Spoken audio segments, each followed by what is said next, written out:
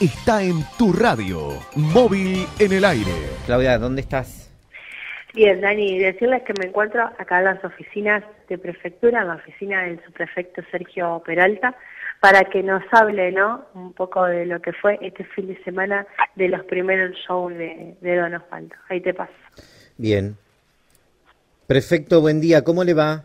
¿Qué tal? ¿Cómo le va? Muy buen día. Gracias por habernos atendido, ¿eh? No, por favor. A ver, cuéntenos, eh, ¿cuántos hechos hubo? ¿Qué, qué, qué fue lo que tuvieron el fin de semana? No, lo que son hechos así que tomó intervención la policía, que trabajamos en colaboración con ellos, fue uno por aquí en, en los alrededores que una persona le habría manifestado que le habían intentado robar el, el vehículo, Sí. que fue un, un hecho muy corto, que la persona estaba cerca del, del vehículo y como que le quiso forzar la puerta. Y le rompieron un vidrio por lo que dijo el hombre. No, no, no, no, por lo que pudimos ver no, no estaba roto el vidrio. Ajá. Eh, cuando- en, el, en el momento sí, eh, intentó romperle el vidrio, pareciera, que fue lo que este hombre observó, Sí. que es ahí donde eh, se inicia una pequeña persecución que, que termina interviniendo la, el personal de la policía, que lo detienen y se lo llevan a la, a la comisaría y va a posterior este hombre a hacer la, la correspondiente denuncia Sí. como que fue el hecho por ahí más, más relevante que tuvimos acá en la, la zona. Después tomando en consideración que hubo más de, de 15.000 personas en cada uno de los días, eh, se- fue con bastante normalidad, más allá que por ahí muchas personas ah, eh, con mucho alcohol en, en las calles eh, y muchos vehículos transitando, la cantidad de gente, eh, eh, en, en general fue un, un buen fin de semana. Peralta, ¿ustedes cuál fue la función de ustedes concretamente? Nosotros hicimos más que nada la, la seguridad, lo que es el, el predio nuestro de, de la dependencia y el cuidado de las personas que por ahí eh, se podrían llegar a, a arrojar al río, que, que hubo varios sí que por ahí se, se arrojaban en, en los costados o en la parte de la costanera, eh, por ahí con, con mucho alcohol encima también, y, y teníamos que estar eh, ahí atentos para sacarlos enseguida. ¿Se arrojaron Más al río? Sí, sí, mucha mucha gente, en especial eh, ahí al lado en la plaza de, de- de la prefectura, que está el Sanjón. Incluso hubo un par de personas que estaban sentadas ahí al lado de- del Sanjón y, y se, se cayeron, no llegaron a caerse del Sanjón, pero quedaron al, al lado. Sí, por ahí eh, la, la- la confianza, se- Sí. eh, un poco, como te decía, el, el alcohol, el cansancio, no tenían en cuenta esos, esos detalles. Digo, mucha gente que por ahí se sacaba la- el calzado y se sentaba al lado de la costa para refrescarse y después eh, se, se patinaban y se caían en, en zonas de, de la costa que por ahí era el- el- la mayor prevención que tuvimos que hacer. Mucha gente se- en, en esas cercanías que por Ajá. ahí provoca algún, algún riesgo. Dígame, eh, sobre el, eh, eh, estos sujetos que andaban robando ahí en la zona, que andaban arriba de los techos y, y demás, que los mismos vecinos han manifestado, ¿ustedes tomaron alguna intervención o lo hizo solamente la policía? No, eso cuando nos informan que estaba gente corriendo por los techos, ¿sí? nosotros, eh, digamos, la, gente que tenía recargada, sí, igual así, hicimos una recorrida. En ¿Pudieron detener a alguien?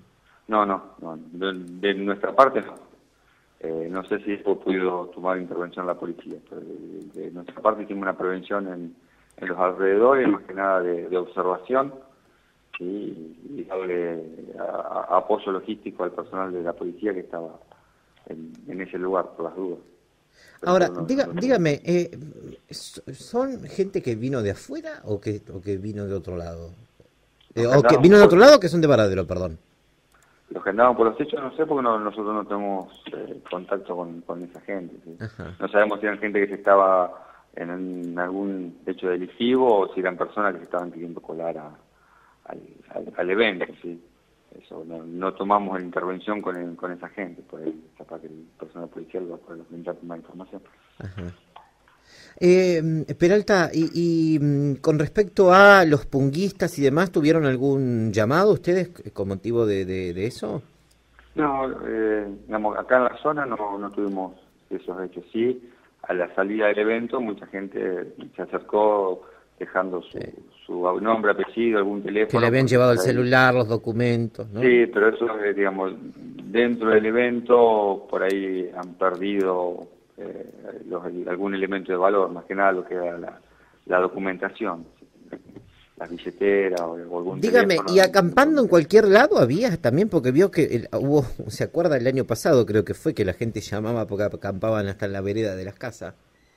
Hubo, hubo gente, digamos, por eso ya, eh, digamos, en el área fuera de jurisdicción nuestra, que por ahí mucho mantero o, gente que por ahí se queda ahí el fin de semana haciendo, vendiendo sus artesanías eh, y que por ahí se quedaban en los puestos acampando, pero eh, acá en, este sector no, tuvimos gente.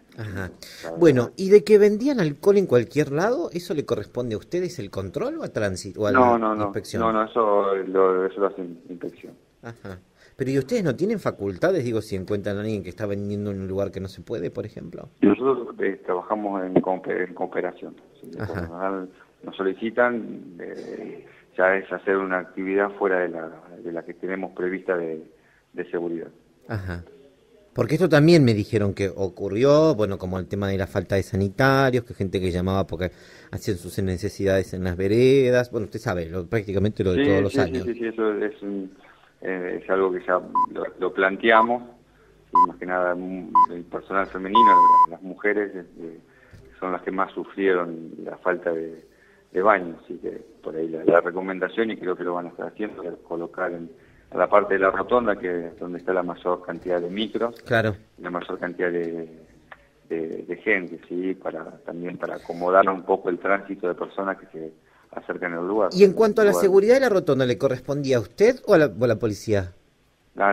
Nosotros hicimos acá en, Porque a mí me llamó poderosamente la atención. Por ejemplo, ayer que no haya, qué sé yo, efectivo, no sé, caminando por la rotonda con tanta gente. Digo, estaba todo tranquilo, yo estuve, estaba todo tranquilo, pero digamos, confluía el público del rock que venía con los micros que estacionaban en ese lugar con, el, con los mismos vecinos de Baradero que iban a tomar mate. Y esto me parece bárbaro, digamos, de que se haya dado así, que no haya ocurrido nada. Pero ante tanta cantidad de gente, usando el sentido común, debería haber un, puesto de seguridad en ese lugar. Por eso, o sea, los aspectos de seguridad fuera del área que, me compete, no, no sé cómo fueron distribuidos el, personal, eso que va a saber explicar bien el personal de policía. Es probable que haya habido gente por ahí, algún efectivo debe haber habido, seguro. Bueno, hay cosas para tener en cuenta para el próximo fin de semana, ¿no? Sí, no, seguro. La idea es de las experiencias que hemos tenido en, este evento, digamos que es muy similar al Varadero Rock y, cualquier evento que trae gran afluencia de, personas, varias cosas que no se tienen que dejar de lado. Claro. ¿sí? que son puntualmente las que estabas comentando. ¿sí? los lugares de mayor concentración de, personal en la Brown, ¿sí? desde la rotonda hasta acá es una afluencia de, gente, ¿sí? más eh, que fue todo en un solo momento, 8.000, 10.000 personas habían en, el trayecto igual, al igual que la salida y es muy difícil moverse dentro de tantas personas y hacer determinados tipos de controles muy difícil, como decía vos, el tema de personas vendiendo algún tipo de alcohol que se mezcla entre la gente o alguna comida, eh, es muy difícil hacer un control dentro de 8.000, 10.000 personas que se están eh, trasladando al mismo tiempo. Sí, sí.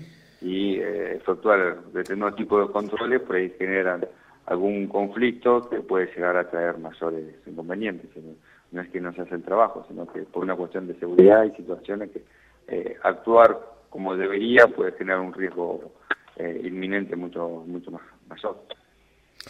Perfecto, le mando un saludo, gracias por habernos atendido como siempre.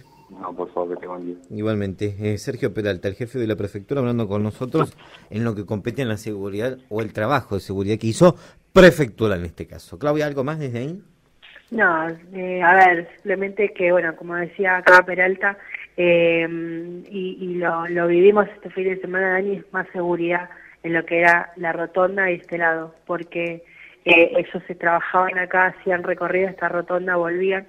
Eh, tengo que destacar el trabajo que hicieron, más que nada para cuando se armaba muchísima pelea de la que era enfrente de mi casa y al costado, ¿sí? Vos estabas como in situ ahí.